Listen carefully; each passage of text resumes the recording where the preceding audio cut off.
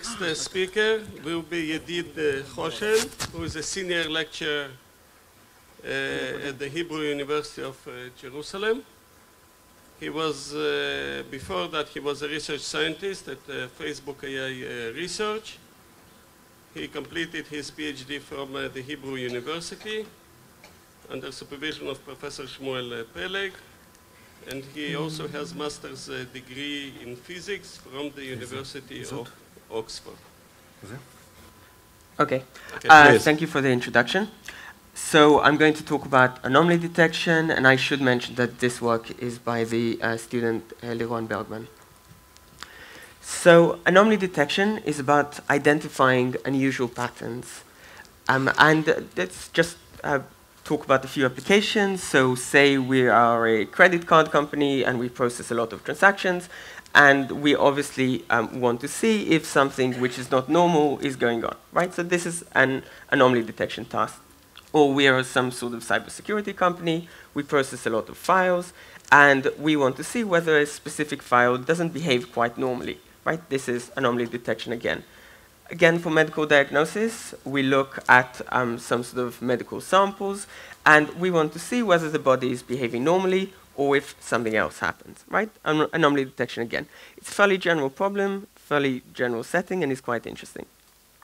So there's a few um, different training settings that anomaly detection um, is sort of is, trained on. So the um, maybe the most difficult one is unsupervised, that we have a training set with some normal samples and some anomalous samples, and we don't know which one's which, right? So this is quite tricky. Usually they make the assumption that only a small proportion of the data is anomalous, but still, this is uh, fairly tricky. The most, um, probably the easiest setting is the supervised setting, and that's when we know exactly what the anomalies look like right? So we have some examples of anomalies, we have some examples of normal data. We train our favorite classifier to, train, to classify data into normal and anomalous, right? So this isn't really quite normal anomaly detection because generally the idea behind anomaly detection is that we don't know what we're looking for. The setting that we're going to be mainly dealing with is the semi-supervised setting in which we have a training set just consisting of normal data and no anomalous data right? So this is usually not too difficult to get, and um, and is interesting enough um, to learn some fairly powerful anomaly detectors. So there's a few standard anomaly detection paradigms. So if we have full supervision, which, as we said, is somewhat cheating and is not looking for the thing that we actually care about, um, then you can use classification-based methods. Um, and there are some practical settings, though, in which this is what you want to do. And if you have supervision, then you should use it right? But um, assuming that we only have uh, semi-supervision at best, then we can, so I guess the standard paradigms would be reconstruction-based methods, which I would imagine near, uh, nearest neighbors or, um, or k-means would be under this, but right now with deep learning, people would use autoencoders.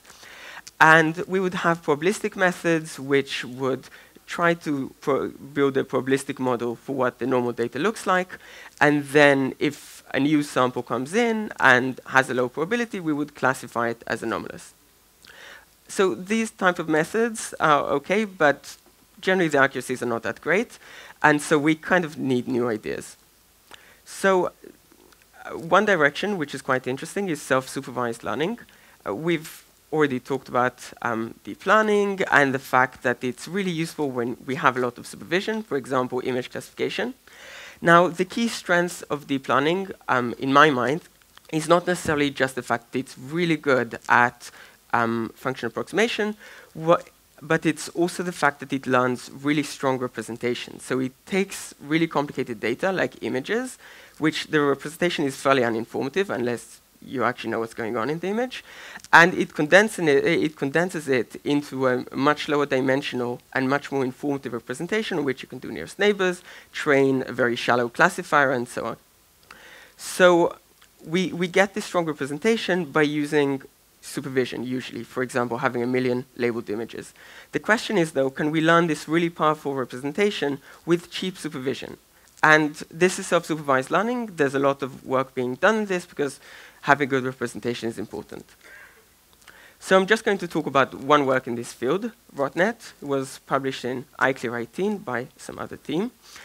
And it's, it's a really simple idea. The idea is that you take every training sample and you rotate it. So we're just talking about the images. And you rotate it in four different rotation angles, right? 0, 90, and so on. And now we train a classifier to take the rotated image and classify which image, uh, which rotation angle it was rotated by. Was it rotated by 0, 90, 180, and so on.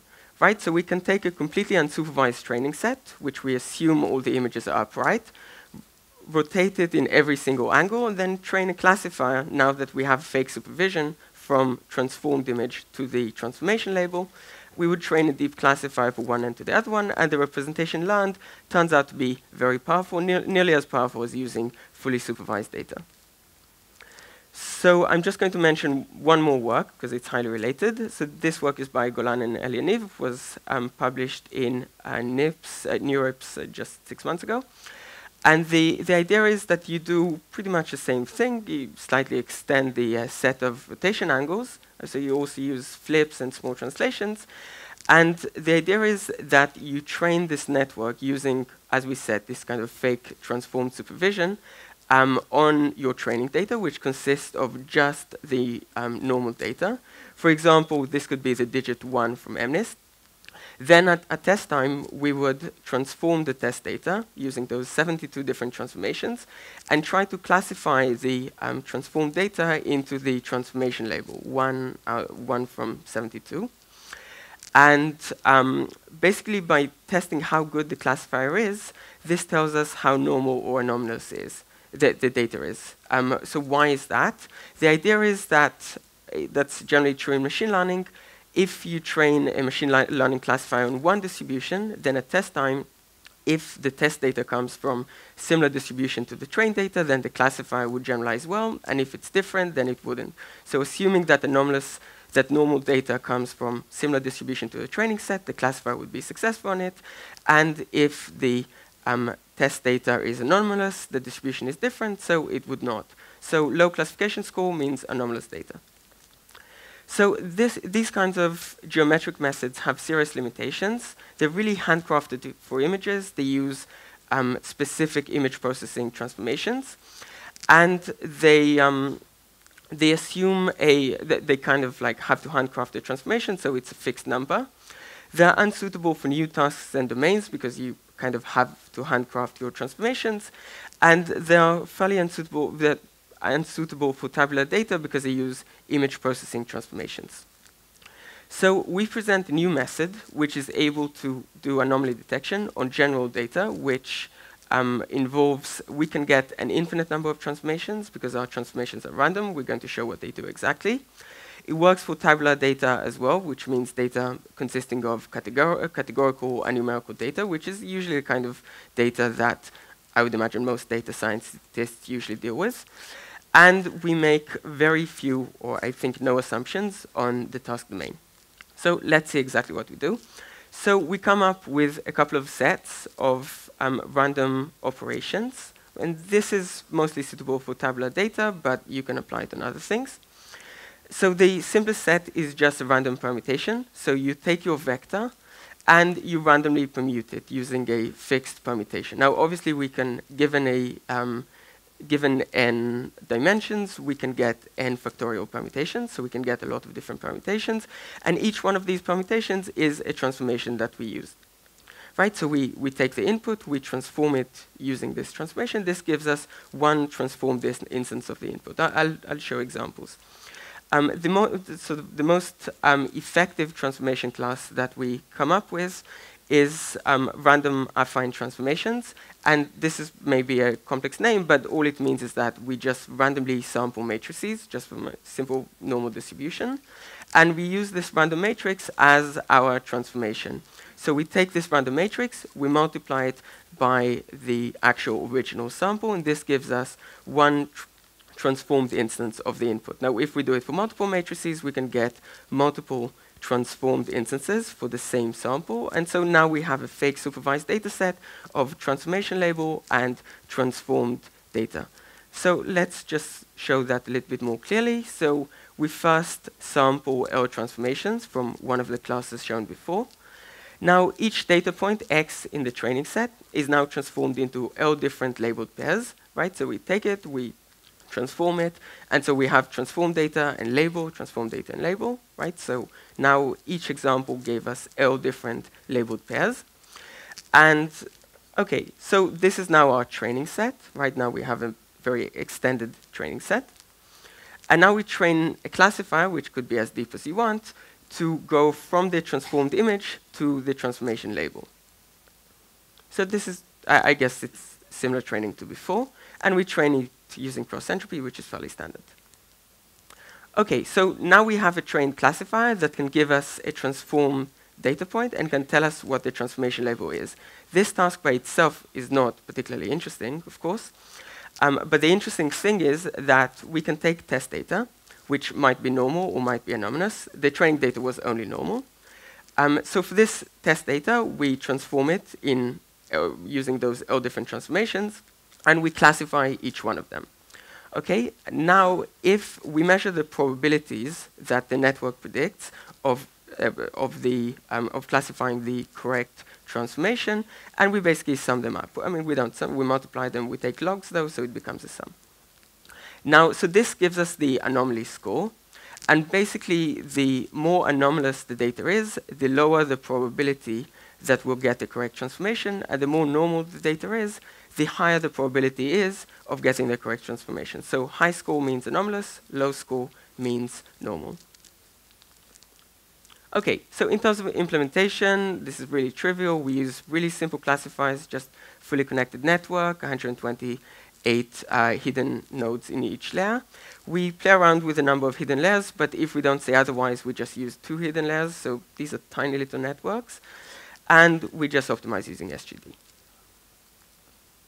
So we performed a couple of experiments just to uh, verify. These are fairly standard benchmarks, and it's against sort of state-of-the-art anomaly detection methods, and most of them use deep learning. So the two, we have two medical data sets, arrhythmia and thyroid, which are fairly small data sets, and we have a much larger data set, um, which is called KDD CUP. These are two variants of it taken from previous literature, and this is on most of like cyber intrusion, that sort of thing. We evaluate the various transformations that we propose just to see which one is most effective. So let's see some results. These are the results on the two medical data sets. And we can see that our, our three different transformation classes, it doesn't really matter which one you use, all of them are highly effective. It seems like the affine method, the random matrix method, is the most effective one.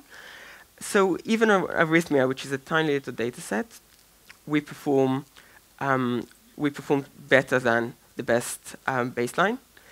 Um, on, on the thyroid data set, um, we do about 25% uh, better than the best baseline, so we're obviously doing a lot, a lot better.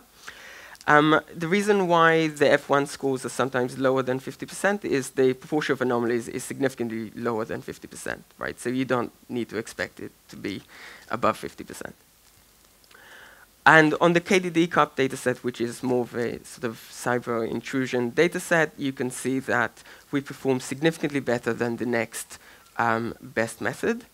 Um, and this is for the, for the two scenarios. So we did some analysis of our method. First of all, we said that we can get pretty much as many um, transformations as we want. So let's see how many, let's see how the number of transformations actually affects the performance. So we varied the number of random transformations, and we did that over several ones, and we measured the variance, and you can see that up to 16 transformations, um, we can, basically the more transformations you have, the better the accuracy.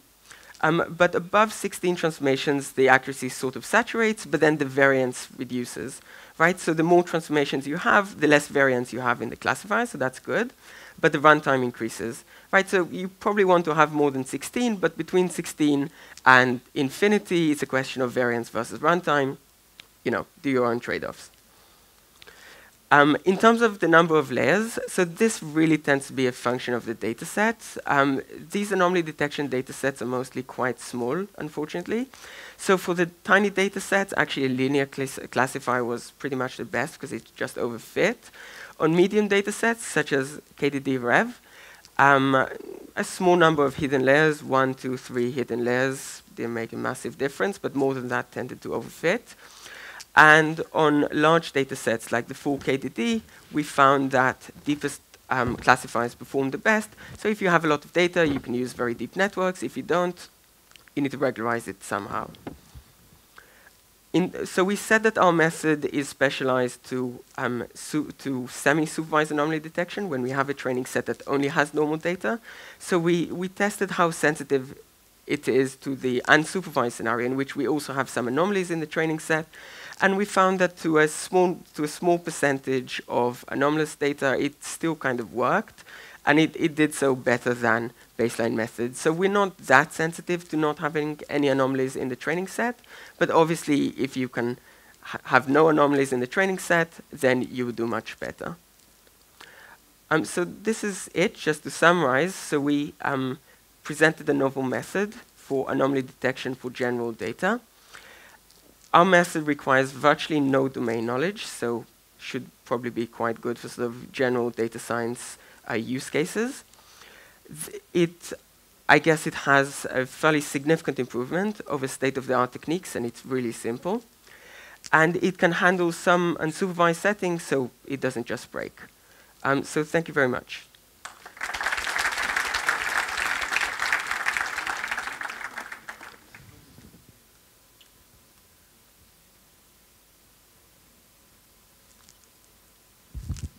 Hi. How can you make sure that when you're doing the transformations on the normal data, it's not suddenly becoming anomaly? It's possible, but I think it's pretty unlikely. Um, and also you're transforming the anomalous data in a similar way. So even if it was previously anomalous, uh, it, it maybe if you know it would be similar to previous anomalous data after the transformation, it probably wouldn't be. But I, I think this transformation class doesn't make it look like anomalous data. Um, but if you happen to be in a scenario in which it did, then that would be unfortunate. But generally, it doesn't seem to happen too much.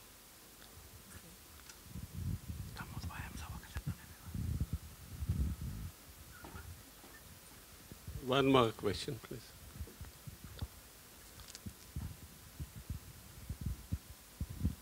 Hi. I think it's not surprising that you had much better results on the cyber, cyber data set because in medical data, there is no such thing as anomalous. Like people who are healthy already have sometimes in them the anomalous and it's just not manifest yet. And also doctors do not agree. So I would expect this to be really effective for man-made constructs. So cyber is one. Have you considered NLP? That would seem a natural area to detect, for example, different kinds of documents, anomalous documents, anomalous sentences. So it, it, sounds like a great idea. Uh, we have considered many things, but have only tried it on the data sets that we've shown. So there's obviously a lot of opportunities. Um, I'm really excited about this. I think that this should be applied to a lot of things, and I, am very optimistic that it would work. Um, the only things that we tried it on are pretty much what we've shown. So, you know, it can probably work on a lot more things. Thank you. Okay, let's uh, thank the speaker again.